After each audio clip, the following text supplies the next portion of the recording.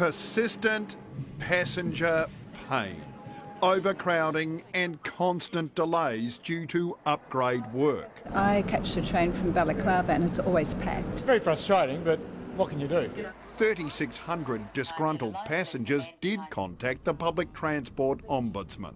Complaints overall rose 21%, but those about disrupted and late services jumped a staggering 54%.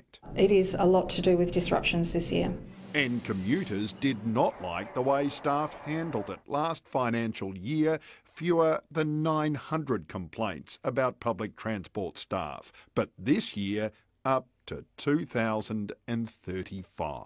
Often the staff aren't given the information they need to give passengers, and the passengers can get quite grumpy about it. And the Ombudsman says customer complaints will continue to escalate until staff are taught properly how to handle such complaints. I think there is a message there around training. I think there's also a message there around support for their staff. And bizarrely, 10 years after its introduction, Myki is still attracting 1,300 complaints a year. You would have thought they would have uh, smoothed out some of the processes around refunds and those sorts of things, which continue to get a lot of passenger complaints. Nick McCallum, 7 News.